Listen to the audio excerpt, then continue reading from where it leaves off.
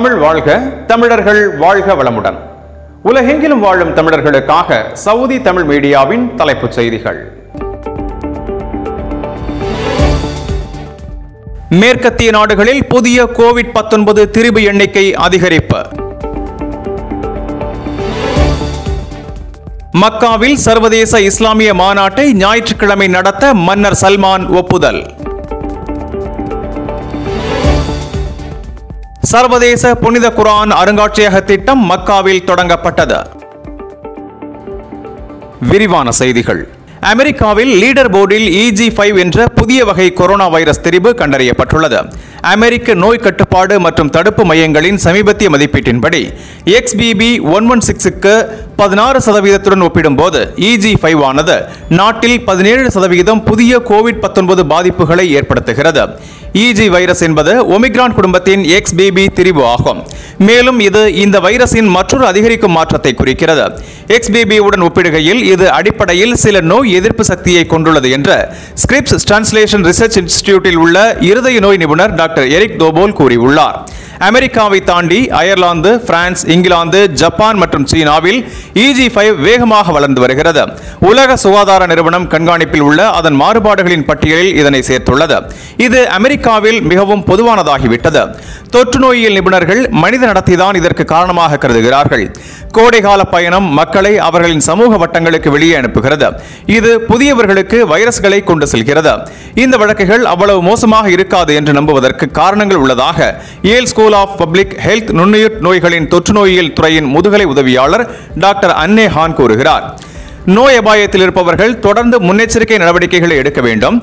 தடுப்பூசி உற்பத்தியாளர்கள் சில வாரங்களில் புதுப்பிக்கப்பட்ட காட்சிகள் தயாராக இருக்கும் என்று எதிர்பார்க்கிறார்கள். ஆனால் சிடிசி இயக்குனர் டாக்டர் மண்டி கோஹன் அமெரிக்க உணவு மற்றும் மருந்து நிர்வாகத்திடமிருந்து கையொப்பமிட வேண்டும் என்பதால் தடுப்பூசி அக்டோபரில் கிடைக்கும் என்று கணித்துள்ளார். இரண்டு புனித மசூதிகளின் பாதுகாவலர் மன்னர் சல்மான் ஆகஸ்ட் பதிமூன்று மற்றும் பதினான்கில் உலகெங்கிலும் உள்ள எண்பத்தி ஐந்து நாடுகளைச் சேர்ந்த நூற்று ஐம்பது புகழ்பெற்ற இஸ்லாமிய அறிஞர்கள் முஃப்திகள் மத தலைவர்கள் மற்றும் சிந்தனையாளர்கள் பங்கேற்கும் சர்வதேச இஸ்லாமிய மாநாட்டை மக்காவில் நடத்த ஒப்புதல் அளித்துள்ளார். மேலும் இந்த நிகழ்வில் இஸ்லாமிய சங்கங்கள் பல்வேறு பகுதிகளின் ஆட்சியாளர்கள் மற்றும் பல சர்வதேச பல்கலைக்கழகங்களின் கல்வியாளர்களும் பங்கேற்க உள்ளனர். உலகில் உள்ள மத விவகாரங்கள் பல்வேறு பகுதிகளின் ஆட்சியாளர்கள் மற்றும் பல துறைகளின் தொடர்பு என்ற கருப்பொருளுடன் இந்த மாநாடு இஸ்லாமிய விவகாரங்கள் அழைப்பு மற்றும் வழிகாட்டுதல் அமைச்சகத்தால் ஏற்பாடு செய்யப்பட்டுள்ளது. மிதவாதம் தீவிரவாதம் சீரழிவு பயங்கரவாதம் சகிப்புத்தன்மை மற்றும் மக்களிடையே சகவாழ்வு போன்ற தலைப்புகள் குறித்து மாநாட்டில் விவாதிக்கப்படும். இந்த மாநாடு ஏழு முக்கிய தலைப்புகளில் கவனம் செலுத்துகிறது. முதலாவதாக உலகில் உள்ள மத விவகாரங்கள் ஃபத்வாக்கள் பல்வேறு பகுதிகளின் ஆட்சிகள் இஸ்லாம் மற்றும் முஸ்லிம்களுக்கு சேவை செய்வதிலும் இஸ்லாமிய ஒற்றுமையை மேம்படுத்துவது இரண்டாவதாக மக்களிடையே சகிப்புத்தன்மை மற்றும் சக வாழ்வின் மதிப்புகளை மேம்படுத்துவதற்கான முயற்சிகளை மேற்கொள்ளுதல் மற்ற தலைப்புகள் புனித குரான் மற்றும் நபிகள் நாயகத்தின் சுன்னாவை கடைபிடித்தல் அல் குர்ஆனிலும் சுன்னாவிலும் மிதவாதத்தை பரப்புதல் உலகில் ப- மத விவகாரங்கள் ஃபத்வாக்கள் மற்றும் ஆட்சியாளர்களின் முயற்சிகளை வலுப்படுத்துதல் தீவிரவாதம் மற்றும் பயங்கரவாதத்தை எதிர்த்து போராடுதல் நாத்திகம் மற்றும் சீரழிவிலிருந்து சமூகத்தை பாதுகாப்பதற்கான தொடர்ச்சியான முயற்சிகளாகும் இந்த மாநாடானது உலக மக்களிடையே வன்முறை மற்றும் வெறுப்புணர்வுகளை குறைப்பதற்காக சர்வதேச மத தலைவர்கள் ஒத்துழைப்புடன் சிறந்த அணுகுமுறையை நிலைநிறுத்துவதற்கான அமைச்சகத்தின் முயற்சிகளின் ஒரு பகுதியாக இருக்கும் என எதிர்பார்க்கப்படுகிறது. முஸ்லீம் உலக லீகின் பொதுச் செயலாளரும் முஸ்லீம் அறிஞர்கள் சங்கத்தின் தலைவருமான டாக்டர் முகமது அலிசா மக்காவில் உள்ள எம்டபிள்யூஎல் தலைமையகத்தில் சர்வதேச புனித குரான் அருங்காட்சியக திட்டத்தை தொடங்கி வைத்து மேலும் இஸ்லாம் முஸ்லிம்கள் மற்றும் மனித குலத்திற்கு இதனை வழங்கியதற்காக இரண்டு புனித மசூதிகளின் பாதுகாவலர் மன்னர் சல்மான் மற்றும் பட்டத்து இளவரசர் மற்றும் பிரதம மந்திரி முகமது பின் சல்மான் அவர்களுக்கு நன்றியையும் தெரிவித்தார்.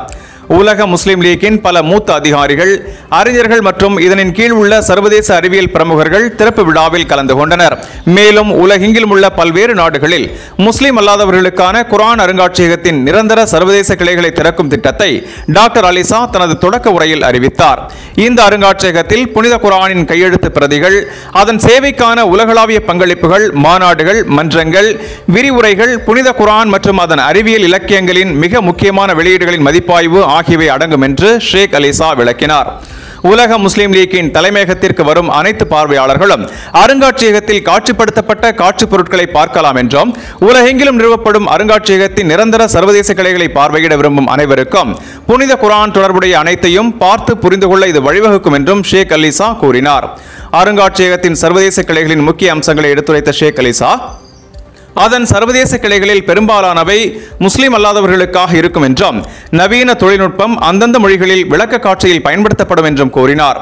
புனித குரானில் பிற கண்காட்சிகள் மற்றும் அருங்காட்சியகங்கள் உள்ள நிலையில் இந்த அருங்காட்சியகம் அதன் சர்வதேசியத்தால் உலகம் முழுவதும் அதன் கிளைகள் மூலம் தனித்துவம் பெற்று உள்ளடக்கம் மற்றும் குறிக்கோள்கள் சமகால மாற்றங்கள் குறிப்பாக அதன் சமீபத்திய பதிவுகள் என இரண்டு விஷயங்களால் வேறுபடுகிறது என்று அவர் மேலும் கூறினார். இன்றைய வர்த்தக செய்தி. சவுதி ரியாலுக்கு நிகரான இந்திய ரூபாயின் ஆன்லைன் மதிப்பு ரூபாய் இருபத்தி இரண்டு புள்ளி பூஜ்ஜியம் எட்டு. ஸ்ரீலங்கா ரூபாயின் ஆன்லைன் மதிப்பு ரூபாய் எண்பத்தி ஐந்து புள்ளி மூன்று எட்டு. அமெரிக்க டாலருக்கு நிகரான இந்திய ரூபாயின் மதிப்பு ரூபாய் எண்பத்தி இரண்டு புள்ளி எட்டு இரண்டு. அதுபோல் இலங்கை ரூபாயின் மதிப்பு ரூபாய் முன்னூற்று இருபது புள்ளி ஒன்று ஏழு. ஒரு யூரோவுக்கு நிகரான அமெரிக்க டாலர் ஒன்று புள்ளி ஒன்று பூஜ்ஜியம் என்ற மதிப்பில் உள்ளது. இனி இன்றைய தங்க விலை நிலவரத்தை பார்ப்போம்.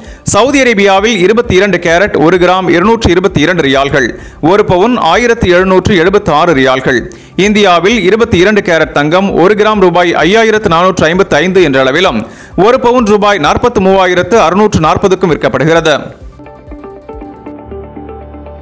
நேயர்களே புதிய செய்திகளுக்காக சவுதி தமிழ் மீடியாவுடன் இணைந்திருங்கள். இன்றைய செய்திகளை உங்களுக்காக வாசித்தளித்தவர் நான் முகமது இஸ்மாயில். அன்பு தமிழ் உறவுகளே எங்கள் சேவை மேம்பட உங்களின் கருத்துக்களை கமெண்ட் செய்யுங்கள். தினந்தோறும் எங்கள் செய்திகள் உங்களை வந்தடைய எங்கள் சேனலை சப்ஸ்கிரைப் செய்து அருகில் உள்ள பெல் பட்டனை அழைத்து அதில் ஆல் என செலக்ட் செய்யுங்கள். மேலும் நீங்கள் அறிந்து கொண்ட செய்திகளை உங்கள் நண்பர்களுக்கு ஷேர் செய்து உதவுங்கள். நன்றி மீண்டும் சந்திப்போம் புதிய செய்திகளுடன்.